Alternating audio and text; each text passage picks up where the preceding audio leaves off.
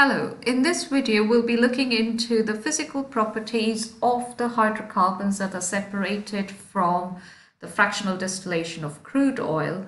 In the previous video we had watched how crude oil can be separated into fractions based on the difference in their boiling point. Now each of the fraction has got different physical properties. So this video we will be focusing on the physical properties of those fractions. So based on the sizes, the physical properties vary. So this video is going to look into four of the physical properties which influence the desirability of a compound or a mixture of hydrocarbons to be used as a fuel. So the first one we'll look into is the boiling point. The boiling point is the, the temperature at which the liquid starts to boil. Now at boiling point, you are using the heat energy to break the intermolecular forces of attraction between the particles.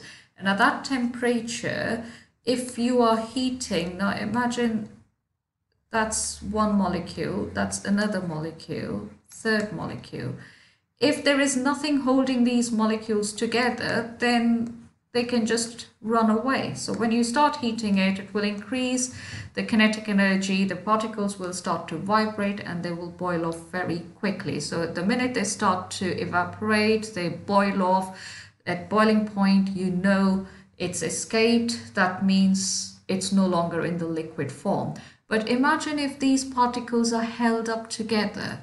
In that case, they cannot escape till they've broken this force of attraction. So if the intermolecular force of attraction is strong, it would need a lot of energy to break the intermolecular force of attraction before they can escape. It's the same thing as imagine you standing alone or a group of children standing alone. If they have to run, they can run straight away. But imagine if they're holding hands, or, or they're tied up together, if they have to start running in that race, they have to break that bond first before they can run. So some amount of energy is utilized in that process. So the stronger the intermolecular forces, stronger is the heat energy that's needed to break it and therefore the boiling point would be high.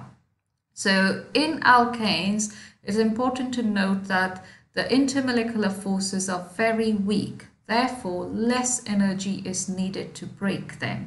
And that means the alkanes will boil at a lower temperature.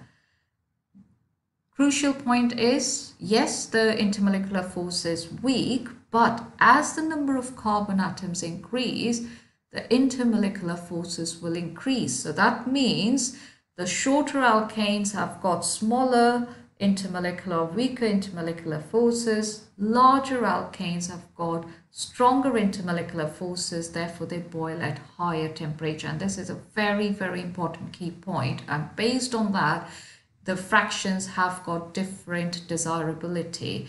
So fuels, we know, a good fuel needs to vaporize quickly, so they should have low boiling point. And you can see here Shorter alkanes have lower boiling point, therefore shorter alkanes are used as fuels. So boiling point is the temperature at which liquid boils or it or the gas condenses. So the shorter alkanes will have low boiling point, longer alkanes have got higher boiling points. Therefore, boiling point increases in that direction. This next physical property we're going to look into is the volatility.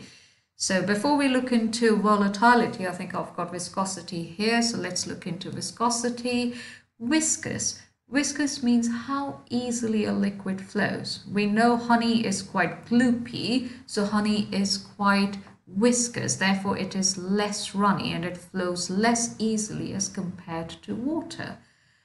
Stronger the intermolecular forces, more is the viscosity. That means all the particles will be clumped together and therefore they will flow with difficulty. And we know that bigger chain alkanes are more are quite stronger intermolecular forces, therefore they will tend to be more viscous. Now a good fuel should flow easily. So when you're at the petrol station and your parents are trying to fill the car with petrol or diesel, you want it to flow quite easily, not pull out like honey drops out. So that would take hours for petrol to be filled up. So the fuel should be less viscous.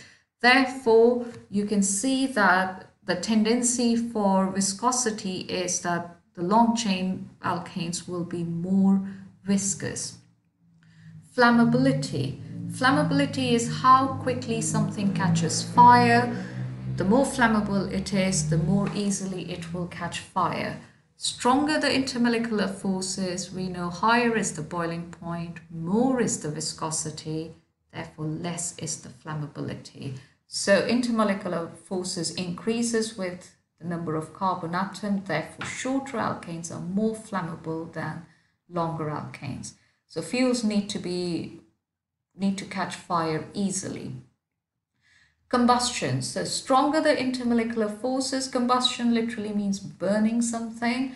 So we know as a recap that stronger the intermolecular forces of attraction, we know the boiling point would increase Greater is the gloopiness or the viscosity, therefore it will not catch fire easily. Therefore, we know that long chain hydrocarbons are not very desirable as a fuel. Shorter alkanes are more flammable, so they are better fuels. Therefore, shorter alkanes will also burn with a clean flame, whereas the longer alkanes burn with a smoky flame. So in a nutshell, this is what we've looked into. We've seen that boiling point increases along the homologous series. So the longer hydrocarbons will have higher boiling point.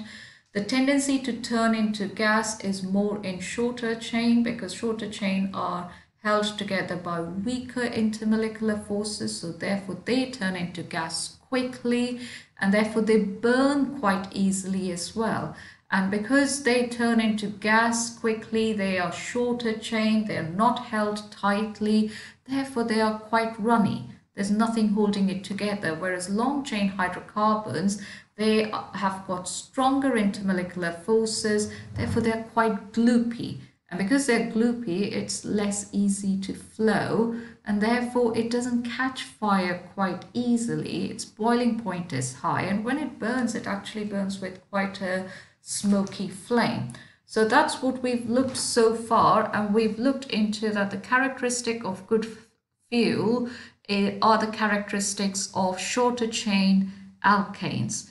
So although you know larger alkanes are less easy to use, but some of them are still used as fuel, especially the fuel oil in ships. But particularly useful are the shorter alkanes. So, so far we've just covered all the physical properties and you can see that the alkanes that you get or the fractions that you get at the top end of the fractionating column, they are the ones with short chain. They are the ones that are more desirable